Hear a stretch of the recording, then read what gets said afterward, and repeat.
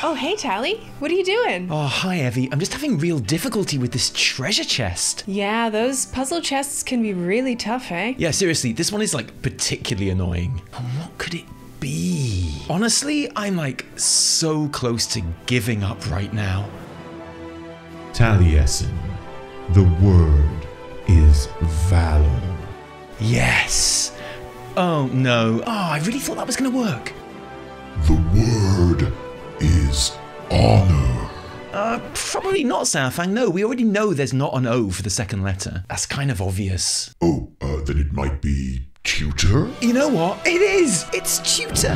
Hey, two ciphers. Nice. Thanks, dads. Tally, who are you talking to? Hmm? What? No one? What? Knowledge is power. Hello, Internet. Taliesin here, and welcome to the weekly reset. Taliesin and Evitel's wondrous wisdom show. And it occurs to me, Internet, that what with the cinematic analysis videos and getting used to the newborn in the house, that we haven't actually managed a proper weekly reset since patch 9.2 released. So, as potentially the best ever Mythic Race to World First rages in Sepulchre of the First Ones, and as we await the new expansion announcement on April the 19th, and as most of us have now seen the raid cinematics and kind of, but not really, ending of the Shadowlands, and as we fly everywhere now, because that's the thing, I thought today's episode would be the perfect time to have a little catch up and offer an evaluation of patch 9.2 now that we've had a handful of weeks to really see what it's all about. Because, internet,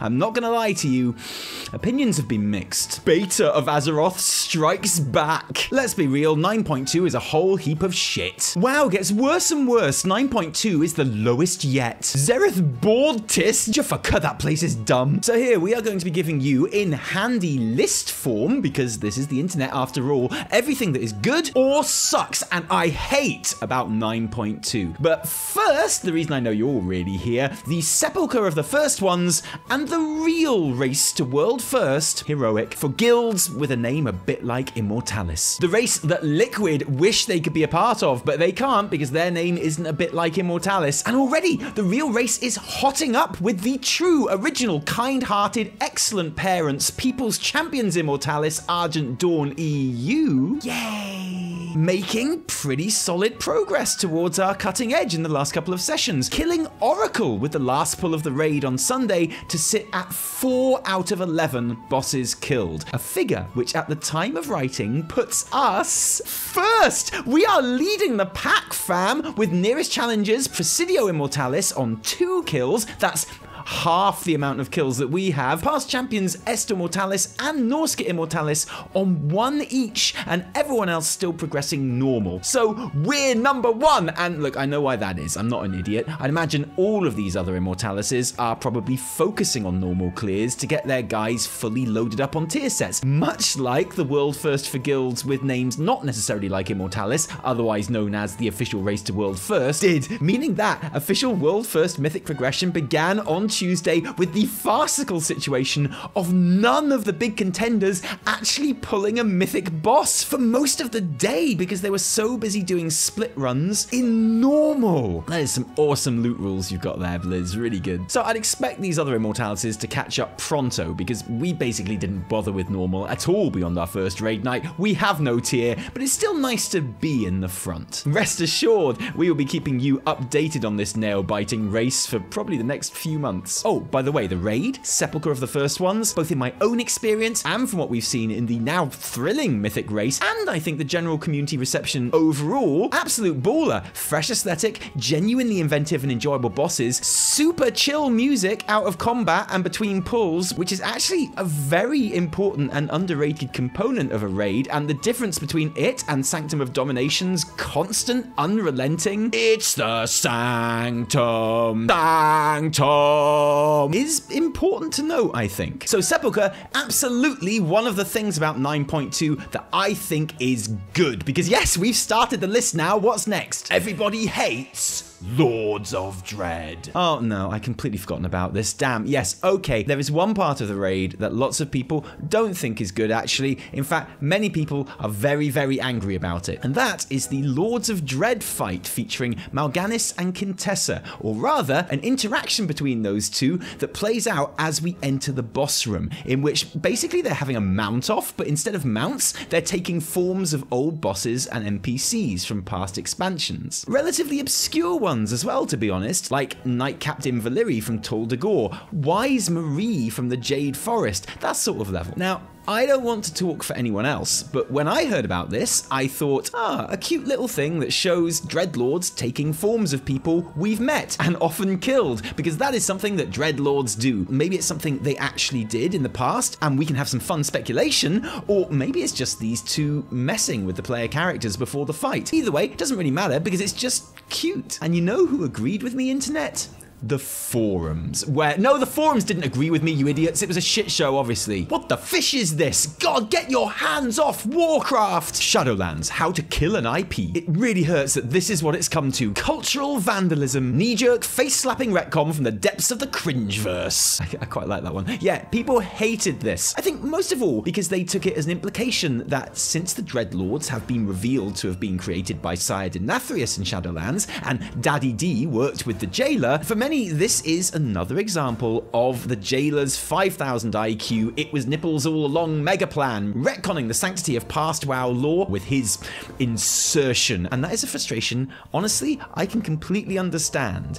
But I don't think this does that? Oh god. For a start, I think this is the two bosses messing with us, which is very in character. Earlier in Zereth Mortis, Mal'Ganis was going around as us, giving the Shadowlands forces the wrong orders and making everyone very angry at us. It was very upsetting. This is the easiest to explain and therefore most likely answer, and you know how much I love the easy answer. So I was already fine with that, even before the literal designer of the fight clarified on Twitter that this was indeed the case. But let's really steelman this one, okay? Because I think it's worth worth doing. Even if these two really have taken the form of all of these NPCs, and Aladian's tortured twin blades loot from the fight is definitely evidence that they genuinely took the form of at least one of them, Alidian, would that even be the massive retcon that people are complaining about? Because I don't think it would. We have killed everyone on this list, and none of them turned into Dreadlords when we did. So objectively, they were not Dreadlords when we fought them, meaning that our characters' entire interactions with them have not changed at all. If Dreadlords ever did take these forms, it was at some other time, for some other reason, which could have been a massive long term deception, but which just as likely could have been because they needed to look like a certain person to get through a certain door and see some plans or whatever. And none of this is inserting the jailer into the past lore, because frankly, the Dreadlords don't work for the jailer. For proof, when Denathrius, their true boss, was captured by us and so Sylvanas asked Zovaal what he was going to do about it, he says categorically nothing. Daddy D has served his purpose. The Dreadlords rescue Denathrius against Zovaal's orders anyway, because they don't answer to him. My favourite comment on this topic is I fishing hate everything about this because it also likely means there's even more NPCs out there that were other Dreadlords. And like, yeah, no shit. The whole point of the Nethrezim is that they disguise themselves all the time and they are good at it. If every single time that a Dreadlord had disguised themselves as someone was one of the times that we found out about it, then by definition, they would be shit at it. So yeah, there are loads of NPCs that we have met in WoW that probably were Dreadlords, either for the whole time we knew them or for a short while. That's just simply always been true, and it's not a retcon. Anyway, people hated it. I'm sure they will carry on hating it no matter what I think. I think it's harmless, and I think it's fun, and I like fun so let's get back to the list. What is something I like about this god awful shitty patch? I like Zereth Mortis. Yeah, the new zone is great. It's been three weeks, so you all know by now, and I'm not going to bang on about it, but it is such a breath of fresh air, aesthetically, thematically, and at the moment, I'd probably go as far as to say that it is the best example of the WoW max level adventure grindy zone that they have ever managed, and I include Timeless Isle in that list. I think the thing that makes it so good for me is that I'm going to hit Revered with the Enlightened in the next day or two, in plenty of time for the double legendary memory becoming available next reset, and I have never once so far felt like the reputation grind was something that I needed to do, or even why I was logging in in the first place. I've played WoW most days since 9.2 released, and every time I've always looked forward to logging in because I know I'm going to enjoy running around this zone just doing stuff. There was criticism in the first week that beyond the story, there just weren't many world quests and other things to actually complete every day. And that's true. It is a criticism that I understand and that I agree with, but I'd be lying if Zereth Mortis Feels Empty accurately described my experience. Because in the course of completing the daily serving of Zereth Mortis action, I always also end up killing rares, grabbing treasures, joining a group to do an achievement or whatever, to the extent that a play session always takes me a lot longer than I think it's going to. And the zone has only become even more full of things to do as time has gone on, as I've unlocked the Jiro dailies and the Protoform Synthesis Builder Mount workshop. Basically, I have never had a bad time in Zereth Mortis. I think it's got the single best marrying of visuals and incredible music that I've seen in the game since like Grizzly Hills, and it's a zone and an experience experience that I already know I'm going to look back on incredibly fondly in the future. Yes, in my opinion, Zereth Mortis is a big, juicy win, but it's not perfect. Oh no, because here's gripes I have. No, actually, here is some things I hate about Zereth Mortis. This one chest in Fauna, which every day appears on my minimap, and every day I think, oh great, a chest, and veer off course to get it. And then every day I see it and go, oh no, it's this thing because this is the chest that needs a provost key to open. Do I look like someone who knows what a provost key is or where to get it? Do I look like someone who has time to do a single Google search and find out? No, you're right. No. So unless I get a provost key for my birthday or something, this chest is going to continue to taunt me until the day I die. I also hate the way that Coco Pop, my little robot buddy, keeps taking their hat off. Like, I know it's just a little thing, but like, I've got all these hats for you, Coco Pop, and like, I chose a nice hat for you to put on, Pops. And I did that so that I could admire how dashing you look, not so that you can take it off again every time I ask you to help me open a chest or use a console or for any other reason. And you know what? That goes for when I make you pilot a little spider or snail or something, and I spend Coco Pop energy to do that, and then three seconds later when I fly somewhere and you decide to get out of the spider to follow me, and thanks for that, you dickhead. Yeah, that was a good use of Coco Pop energy, wasn't it? That made me feel brilliant. And another thing, how come I always manage to click on Coco Pop accidentally when I don't mean to, but when I want to click on him to tell him to do something that he probably won't do anyway, he's always annoyingly just out of reach. What kind of evil robot are you, Coco Pop? I do like his flying disc thing though, fair play. Another thing I hate, the cipher of the first one. Okay, this one's a bit unfair because I don't hate it, but there was one super annoying thing about it that did not get changed despite constant feedback and therefore deserves to be criticized. And that, as you know, is the stupid mobile game timers on the big initial cipher unlocks. Except worse, because at least with a mobile game, they make stupid timers to try and get money off you to make them go faster. You can't pay to skip cipher times, so it's literally just in the game to piss you off for no reason. But worse than that, I think that those timers are one of the main reasons that the 9.2 experience felt empty to a lot of players in the first week. Because that first week before Season 3 kicked off should have been prime cipher time for all of us. We should have been farming currency and gleefully upgrading it and changing our Cocoa Pop appearances, unlocking the Build Amount workshop and starting to collect everything that we need for that, and just generally enjoying ourselves. But instead, we were either sat there waiting for the four and six day timers to count down, or we were panicking because we were behind on ciphers and hadn't even put the timers on yet, and knew that we'd have to wait even longer for those fun things to be unlocked. And even worse than that,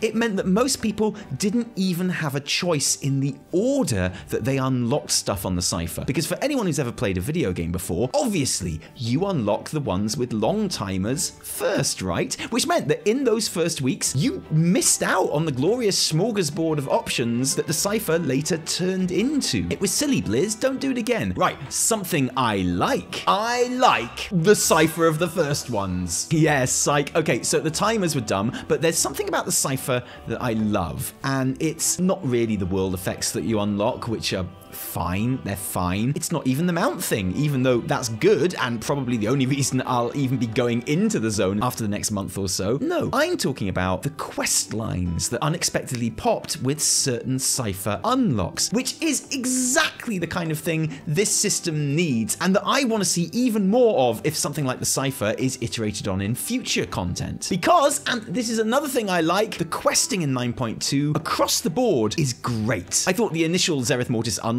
stuff was really characterful and cool. These Cypher unlocked quests with the Jiro and the Automa are perfect and some of the best stuff in the patch, and I think generally the campaign stuff has been really good too. I thought the creation of the Crown of Wills doubling as a major therapy session for characters that had been controlled by domination magic, so Bolvar, Mograine, Anduin, and Sylvanas, was about as deftly and elegantly handled as you can handle something that is probably a little bit beyond WoW's traditional storytelling capabilities. And yeah, the Crown of Wills doesn't look cool, does it? But I'm still talking about things I like. And I especially enjoyed this week's installment that saw us use our last day without flying to unlock and portal our way up to an inaccessible peak of the zone and grab a new Arbiter body. Oh, and the in-game cutscenes we've had this patch to help tell that story? Top draw. This week's Doctor Strange dream sequence being a particular highlight. But not all cinematics have been so well received. Oh, no, no, no, no. I hate the cinematics. This isn't true either, I don't hate the cinematics. You can get my full detailed breakdown on both of them in the two videos we put out in the last couple of weeks. I actually love the Anduin raid cinematic, where we see the final moments of the remains of Arthas Menethil. I'm not so crazy about the real raid ending cinematic though, and I feel I've made my reasons for that pretty clear too. But like the Mal'Ganis thing, I think there's definitely an element of the community using the raid ending as a lightning rod for their justifiable frustrations with the game and story as a whole. And whereas I'm not sure how helpful that is as criticism, and I'd probably try and avoid doing that, it is nevertheless an understandable reaction. The Jailer has not been a great antagonist. We haven't seen anywhere near as much of the Shadowlands as we hoped. Like, remember before the expansion started and they said, yeah, the great thing about this place is there's unlimited zones and aesthetics, and then the only other place we ever saw before now was the moor, but yellow. And I don't care how much they say they always plan to only have two major patches, there does definitely feel like there's something in the middle missing, doesn't there? Like not WoD level whole missed chapters, but just something. I can understand why people are down on the overall story of the Shadowlands, basically, especially when it comes to the Jailer and his backstory and motivations. Things I think Blizzard know themselves, but haven't shared in anywhere near a satisfying enough way. I think it's quite clear that the writers see the resolution of the Sylvanas arc as being the main plot of Shadowlands, and that is still to come. Notably, the final campaign chapter that was never tested on the PTR, titled Judgment, still doesn't feature in the quest list on live at the time of writing. Next week's tying up of the Arbiter loose end is the official end of the story in 9.2. It's probably safe to assume that missing Judgment chapter will get shifted to 9.25 instead. Honestly, I would be totally okay with 9.25 Judgment if that gives them a chance to make Sylvanas' resolution bigger and better and more involved than it would otherwise have been. Absolutely, but I'm not sure how well the community will react to 9.2, the climax of Shadowlands after all, closing out on Arbiter stuff and not even addressing the Sylvanas question, which is not so much the elephant in the room right now as the blue whale in the room. The blue whale being the biggest animal that ever lived in the history of Earth ever. It's a big question is what I'm trying to say. I guess we'll just have to come back next week and find out what people thought, which is fine because we're a weekly show. I like the new Great Vault changes that Blizzard have introduced this week. The attendance tokens that you receive if there's nothing that takes your fancy from your gear choices have been reworked so that you can now get up to six per week depending on how many slots in the vault you unlock. And these can now be used to purchase gold caches, account bound renown tokens, Genesis motes for mount building, ciphers of the first ones, enlightened reputation, and gem slots for applicable season 3 gear, which is all genuinely great, fair play, and will be something that people will especially appreciate later on in the patch when there are inevitably less gear upgrades appearing for them in the vault. There are also buffs to the drop rate of sand-worn relics too, which are frankly useless. I hate sand-worn relic gear, I hate it so much. This shit still makes no sense. I have no idea what sand-worn relic gear is for. Even with the buffs, no one is ever going to get enough relics to buy more than one or two pieces before their cipher is unlocked enough that all other gear that drops in Zereth Mortis is higher item level than this stuff anyway. And it's bind on pickup, so you can't even send it to alts. I am genuinely baffled as to what purpose this serves. I think you should make it usable in the creation catalyst that opens in a couple of weeks. The thing that uses some of the ocean of flux that you've got in your currency tab to turn season 3 gear into tier pieces, which currently doesn't have an option for open world gear. It all comes from raid, mythic dungeons, or PvP. This could be the open world catalyst compatible gear, and then we'd all know what it's for, but it's not. No one knows what it's for. I like Torghast. Look fam, Torghast has a bad rep, but the Jailer's Gauntlet is awesome. I'm convinced there is a very important lesson here, because I think it's fair to say Torghast was not a massive success in the eyes of much of the player base. And the thing that killed it as a gameplay mode for most people was the fact that you had to do it exactly twice a week. No more, no less, to get the very important Soul Ash rewards. But the best, most enjoyable iterations of Torghast have been the versions where you're not doing that. The Twisting